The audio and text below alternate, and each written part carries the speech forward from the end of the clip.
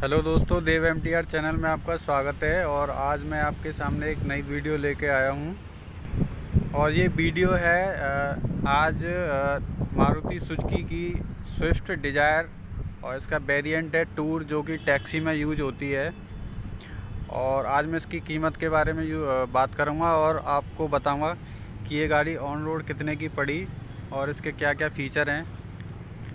तो वीडियो को स्टार्ट करने से पहले, सबसे पहले मैं आपको इनकी चारों साइड की प्रोफ़ाइल दिखा देता हूँ, जिससे कि आप इसको प्रॉपरली देख सको। तो ये इसका बैक साइड है।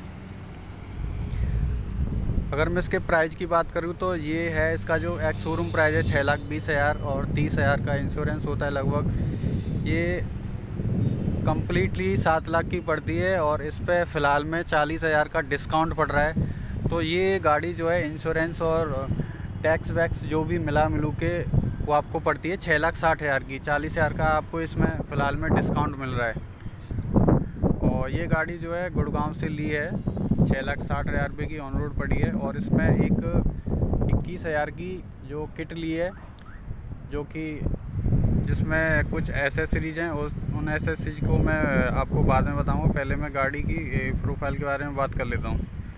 तो सबसे पहले हम फ्रंट लुक की तरफ़ से बात करते हैं। इसमें आपको दो हेलोजन हेडलैम्प दे रखी है नॉर्मली और ये ऐसे सीरीज़ है, जो कि एक्स्ट्रा लगवाई है बम्पर के गार्ड के लिए और ब्लैक फिनिश में आपको क्रोम मिल जाती है और साथ में आपको मारुति का बैच मिल जाता है और नीचे की साइड में आप देख सकते हो कि यहाँ से एयर जाने के लिए इसमें भी आपको बम्पर पे ब्लैक कलर की फिनिश मिल जाती है।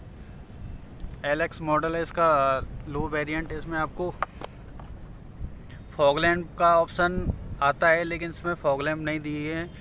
लेकिन आप इसको आफ्टर मार्केट से लगवा सकते हो। बाकी आपका ये इस साइड में इंडिकेटर हो गया। और 14 इंची के आपको टायर मिल जाते हैं इसमें आपको। और विथ ट्यूबलेस और ग्राउंड क्लियरेंस की बात करें तो इसकी जो ग्राउंड क्लियरेंस है 170 सेवेंटी mm जो कि काफ़ी बहुत अच्छी है। ऊबड़ खाबड़ रास्तों पर चलने के लिए पीछे भी आपको चौदह इंच का टायर मिल जाता है। और मायरर की बात करें तो मैनुअल एडजस्टेबल मायरर है विदाउट इलेक्ट्रिकल और इसको आप अंदर से ही एडजस्ट कर सकते हो। और ब्लैक फिनिश में आपको ये मायरर मिलता है और शायद या दूसरी तरफ़ आपको ये डोर का जो हत्ता है वो भी मिलता है ब्लैक कलर में। और ये आपको मारुति की तरफ़ से ये सीएनजी स्टॉल है, यहाँ से सीएनजी फिल होती है। अब बैक साइड की बात करते हैं तो बैक साइड में आप देख सकते हो, वही पुराना लुक है।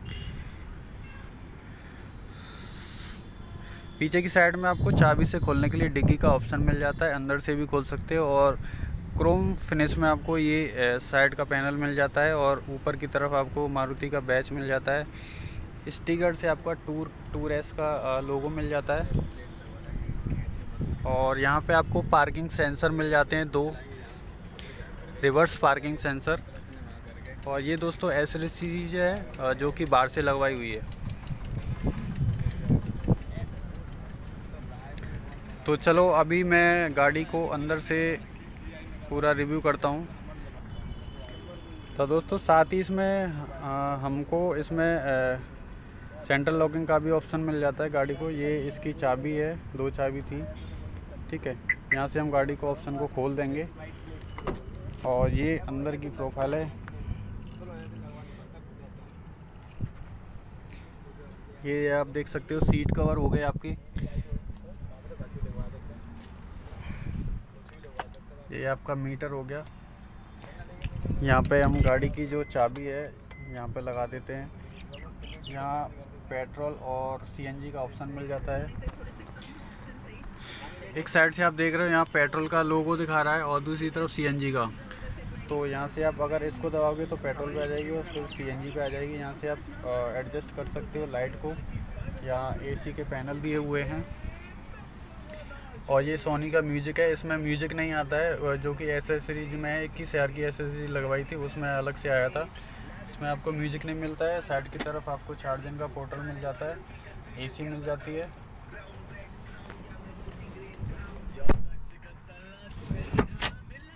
साथ ही आपको आ, क्रीमी फिनिश में आपको आ, इसका डैशबोर्ड मिल जाता है और काफ़ी अच्छी गाड़ी है। टैक्सी के पर्पज़ से आप इसको ख़रीद सकते हो। एसी भी इसका बहुत अच्छा है। साथ ही आपको तो बाकी जो भी किट हैं, वो सब सारा सामान मिलता है। अब दोस्तों मैं एसेसरीज की बात कर लेता हूँ। इसमें मेरे को क्या क्या मिला था? एक ही शहर की एसेसरीज थी। इसमें हमें एक म्यूज़िक मिला था। म्यूज़िक के बाद सीट कवर मिले थे। सीट कवर के साथ ही आपको ये हैंडल का कवर मिला था। और इसके साथ इसके साथ ही हमें ये जो मैट है, वो मैट मिली है। और बाकी आगे मैंने जो बम्पर पे दिखाया था वो बम्पर गार्ड मिला है। अगर दोस्तों आप एसेसरीज लेना चाहते हो तो मैं आपको रिकमेंड करूँगा कि आप बाहर से ही एसेसरीज लें। इनकी एसेसरी बहुत ज़्यादा महँगी होती हैं। कोई भी फ़ायदा नहीं होता। हज़ार की चीज़ को ये लोग दो दो, तीन तीन हज़ार में देते हैं। तो आप वैसे तो देख सकते हो यहाँ पे स्पेस बहुत है इस गाड़ी में। और तीन लोगों के लिए पीछे भी कंफर्टेबल हैं। तीन लोग आराम से बैठ सकते हैं। और आगे रियर वाली जो सीट हैं, दोनों में हेड रेस्ट दिया गया है। एडजस्टेबल, आप इसको एडजस्ट कर सकते हो। सीट की क्वालिटी अच्छी है, लेकिन बहुत ज़्यादा ख़ास नहीं है। ठीक है। यहाँ पे आप देख सकते हो, ये सीट बेल्ट का ऑप्शन हो जाता है। यहाँ गियर, ये गियर हो गया आपके। Five speed transmission manual gear मिल जाते हैं आपको। और ये इस गाड़ी में दो पावर विंडो आती हैं आगे की। और एसेसरीज में हमको दो पीछे वाली रियर पावर विंडो भी मिल जाती रही। और दो ड्राइवर के साइड के एयरबैग एक फ्रंट का और एक लेफ़्ट हैंड साइड का, दो एयरबैग मिल जाते हैं इस गाड़ी में हमें आपको। तो आगे की साइड से तो ये आपने देख लिया है अगर मैं आपको पीछे की साइड से दिखा देता हूँ। पीछे की साइड से ये देख सकते हो, तीन लोग आराम से बैठ सकते हैं इसमें। मैं डिग्गी खोल के दिखा देता हूँ कि डिग्गी में कितना स्पेस रह जाता है। सीएनजी ऑलरेडी इसमें इंस्टॉल है।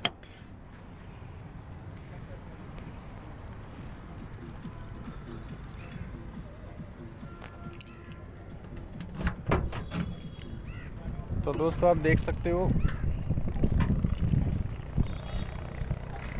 ये सीएनजी किट इसमें लगी हुई है, जो कि कंपनी से स्टॉल है।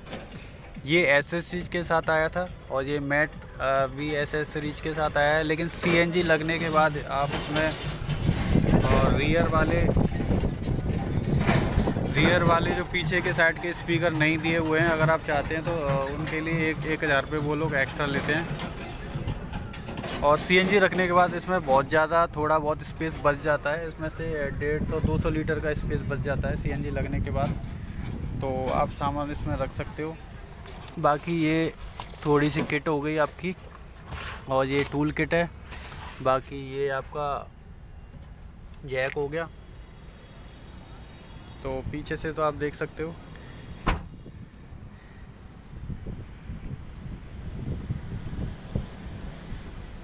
अब दोस्तों मैं आगे की साइड से इसका इंजन को दिखाता हूँ आपको।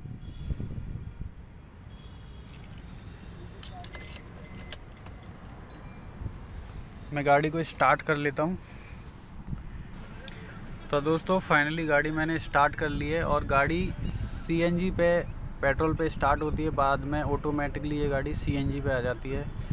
अगर आपको यहाँ से ये वाला ऑप्शन दे रखा है बटन का, अगर आप इसको दबाते हो तो ये पेट्रोल पे आ गई है, आप देख सकते हो इस साइड में। और ये ये भी ऐसे सीरीज़ में आया है माइक यहाँ से आप ब्लूटूथ से इससे बात कर सकते हो फ़ोन पे। तो अभी ये सीएनजी पे हुई है दोस्तों। तो फाइनली मैं इसका जो आगे का बोनट है उसको खोल लेता हूँ।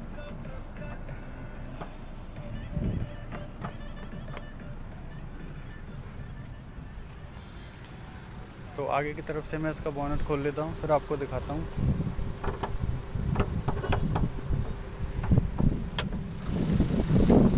तो ये है दोस्तों इसका इंजन ये है दोस्तों इसका इंजन यहाँ पर बैटरी दी गई है और ये इसके बॉडी पार्ट्स हैं, बहुत सारे इंजन के पार्ट्स हैं। साइलेंट इंजन है एकदम। न्यू गाड़ी है। आज ही हमारे भाई जी ने निकाली है ये। आप इंजन की कंडीशन देख सकते हो। दमदार इंजन है। यहाँ से इंजन ऑयल डालते हैं, यहाँ से इंजन ऑयल चेक कर सकते हैं। ग्यारह सौ सत्तानवे सी का इसका 1.2 लीटर का पेट्रोल इंजन है, जो कि आपको सत्रह से अठारह का माइलेज आराम से निकाल के दे देती है और लोकल में चौदह से पंद्रह का माइलेज। और ये सीएनजी में है तो बाईस से पच्चीस का ऑन हाईवे दे देती है और लोकल में अठारह बीस का माइलेज आपको आराम से निकाल के दे देती है। तो दोस्तों, वीडियो आपको कैसी लगी? वीडियो में कुछ पूछना है तो कमेंट कर देना प्राइस से रिलेटेड या जो भी है। तो दोस्तों, वीडियो अच्छी लगी तो प्लीज़ मेरे चैनल को सब्सक्राइब कर देना और वीडियो को लाइक कर देना और प्लीज़ वीडियो को शेयर कर देना। Thank you